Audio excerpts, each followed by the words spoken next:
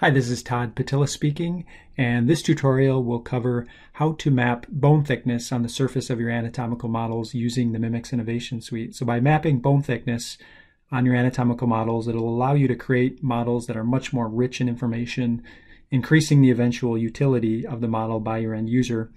And if you have access to the latest multicolor 3D printing technologies, it's also an excellent way to take advantage of the color that's available with these technologies. So with this tutorial, we'll start from a CT scan and go through the workflow necessary to create a anatomical model with bone thickness mapped on the surface like you see in the picture on this slide here.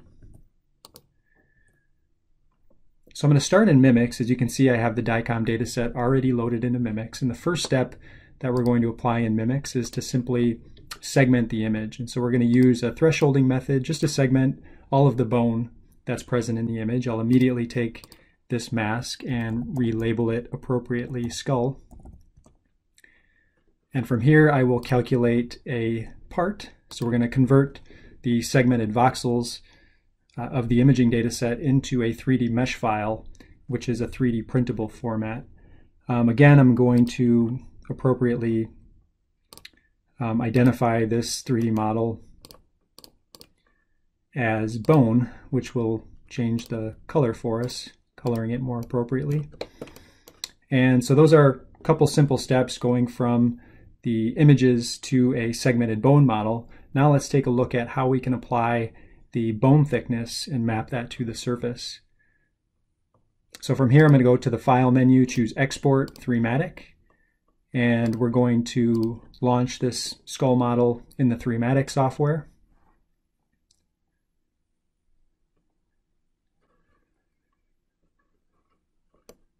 So in 3-matic, the first step that'll apply, just to reduce the field of view, um, again, it has advantages of saving time and material on the printer as well.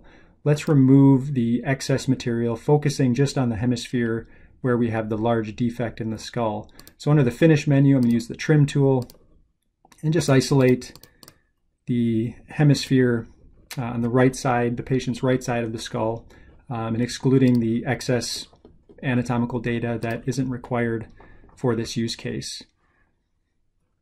So you can see after I've cut the part, now let's take a look at how we apply the wall thickness. So under the Analyze menu, I'm going to choose the Wall Thickness button.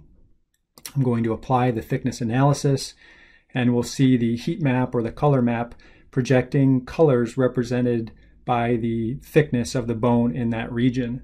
So now in order to convert this to 3D printable surface colors, I'm going to use the segment segmentation button under the Analyze menu. And in this case, I can choose a number of different ways to uh, convert the, the thickness into segmented regions. Um, in this case, I'm just going to use, let's use eight equal bands. I will apply this, and so it's going to take that surface and separate it into eight different colors, uh, each representing a certain thickness on the bone. So you can see the, the thicknesses that are mapped to the surface, and now it's as simple as exporting this file to your 3D printer. And so there's several multicolor 3D printer formats available in Mimics and 3-matic. Uh, 3MF, for example, or OBJ are very popular. It'd be as simple as exporting this as 3MF and uh, 3D printing it. So that's what the workflow looks like, going from a CT scan, segmenting the anatomy, mapping wall thickness, and exporting for 3D printing. Thank you for your attention.